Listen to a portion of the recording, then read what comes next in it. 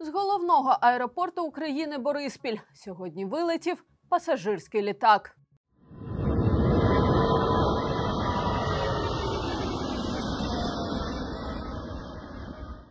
Однак, на жаль, це не означає, що в Україні відновлюється пасажирське авіасполучення.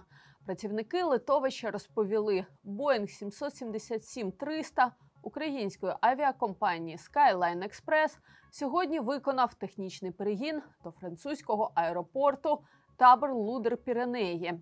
Цей аеродром використовується як база технічного обслуговування та тривалого зберігання авіалайнерів. Рейс дотримувався найвищих стандартів авіаційної безпеки та безпеки польотів відповідно до директив, які діють на час введення воєнного стану в Україні. Під час польоту на борту не було ні пасажирів, ні вантажу. Боїнг 777 300 не дійшов до України наприкінці 2021 року. Він міг перевозити 531 пасажира, що є рекордним показником для авіації України. До російського вторгнення авіалайнер перевозив туристів на курорти Карибського басейну в Домінікано і мексиканський Канкун.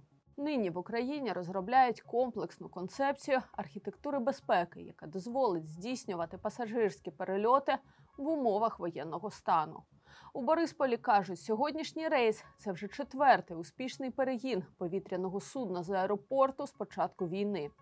Такі польоти дуже важливі для розробки цієї концепції. Нагадаємо, минулого місяця під час візиту до США глава офісу президента Андрій Єрмак заявив, що наступного року, попри продовження бойових дій на території України, керівництво держави планує відкрити один із аеропортів для цивільних польотів. Запорукою відкриття стане посилення ППО.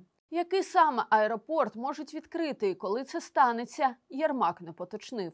Однак згодом його заступник Андрій Сибіга заявив, що першим відкриють саме Бориспіль, як тільки дозволить ситуація у сфері безпеки.